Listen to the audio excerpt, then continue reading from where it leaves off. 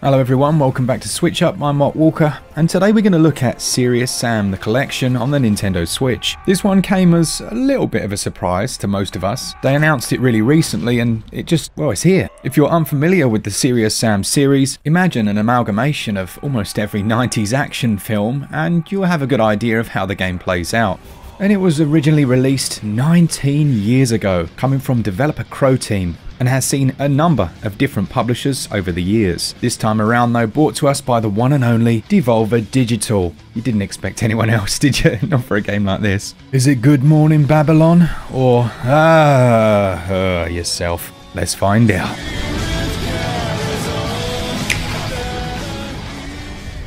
The story goes that the Earth is under attack from a new alien menace known as Mental, and as they're about to fall, they discover an artifact which allows Sam to travel back in time where he can then face the alien threat before it even began. And that same story arc pretty much follows through every title, indeed with the most recent game in this collection feeling more like a remaster of the original, but with different cutscenes and additions to make it a little bit more fancy.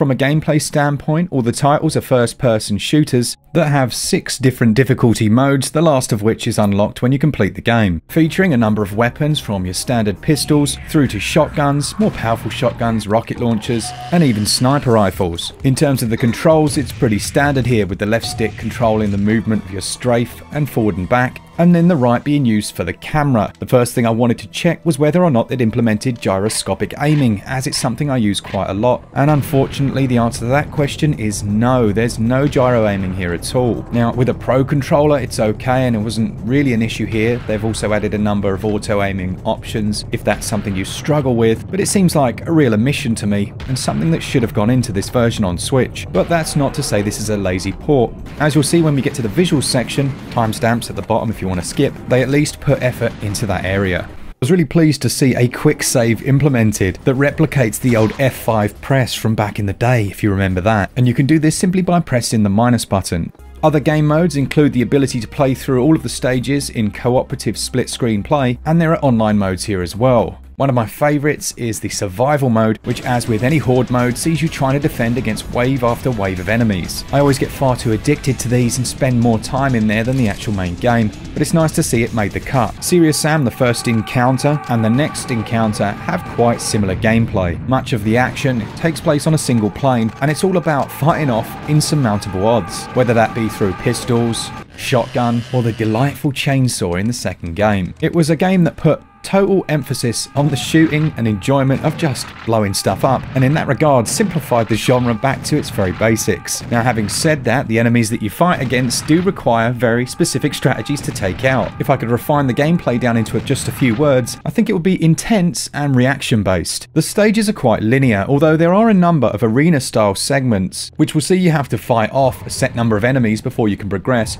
and there are a couple of optional puzzles to unlock some extra items. Throughout each level, you'll be looking out for other hidden areas and items much like traditional Doom and Duke Nukem games, and at the end of the stage, you're shown your scores and how well you did or, uh, not. They forego all of the quality of life things you might be used to from modern titles, hand you a very large gun, or sledgehammer, and then let you loose on quite a linear stage filled with thousands of different enemies. One slight change in the third title is that they allowed you to do melee moves. Things like ripping the beating heart out of an enemy and then throwing it at them, or spinning your sledgehammer around to smash them to pieces. It's all very Doom 2016 in that regard, while still keeping the same hectic gameplay. Essentially, this is Circle Strafe Reverse the game, with the occasional ridiculous one-liner from John J. Dick.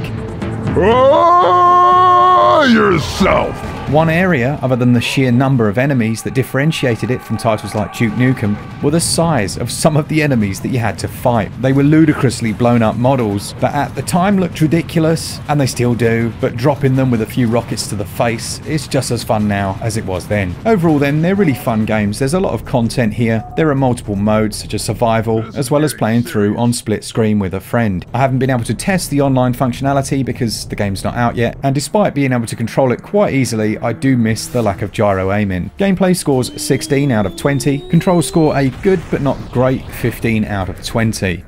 As far as visuals and performance go, when Croteam first made the game, they ended up making a proprietary engine known as the Serious engine. Originally quite simplistic, it later saw versions 2 and 3 include more modern features that tax GPUs such as HDR, bloom, parallax mapping, etc. And the difference between the first game in this collection and the last is quite striking. What is nice to see is that the developers have included a performance mode as well as a graphics mode so that you can choose which you prefer. The graphics mode tends to run 30 FPS. However, it really couldn't cope with the third title, and the fluctuations are quite large, whereas the performance mode in the third title was fine, however they left it uncapped. So it travels between 40 and 60, and you see some noticeable stuttering and drops at times. They would have been much better off just capping that out at 30. But Serious Sam 1 and 2 will lock out at 60 FPS and they'll stay there regardless. While the games aren't going to turn any heads, they also don't look too bad. Certainly falling in line with the recent re-releases of Duke Nukem or the Turok titles, they do a little bit more than the originals,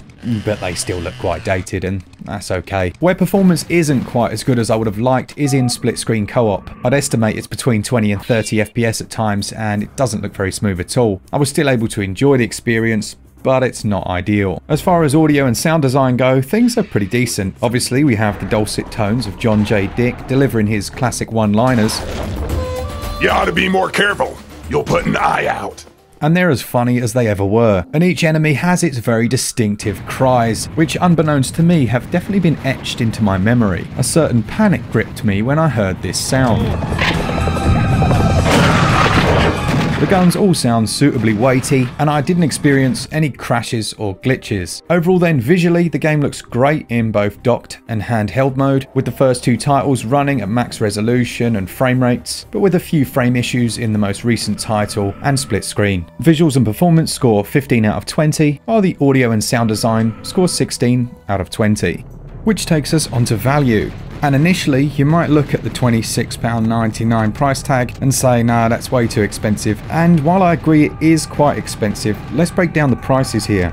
You've got Serious Sam the First Encounter, which is £11 on other platforms. Serious Sam HD the Second Encounter, which is £15 on other platforms. Two of the DLC packs, one of which is £7 on its own and the other the same. And then Serious Sam 3 BFE Edition, which is currently £30 on Steam. So I don't know about your maths, but you're getting essentially 60 odd pounds worth of games for £26.99, which actually isn't too bad. What you could argue though, potentially, is that perhaps all of those prices are a little bit OP, and that perhaps something like this in digital only format right now should cost around about 20 quid. You could argue that. I might not agree with you, I might not disagree with you. Either way, I give value a very respectable 17 out of 20. It's one that absolutely needs a physical version, I'd say.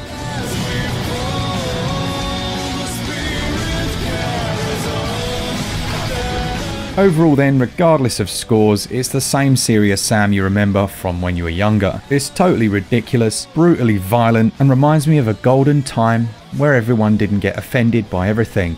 It scores a switch up score of 79%. Let me know down in the comments if you'll be picking this one up if you are a Serious Sam fan, and do make sure you subscribe to the channel if you enjoy the content. A big thanks to our Patreons who support us each and every month. You guys are awesome. And as always, for all things Switch, all the time, keep it Switch up. Cheers, guys. See ya! Party time.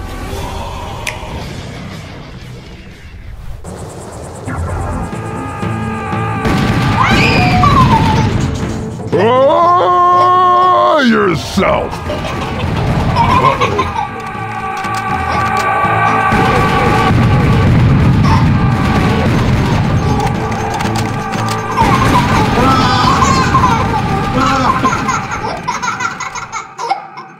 Run!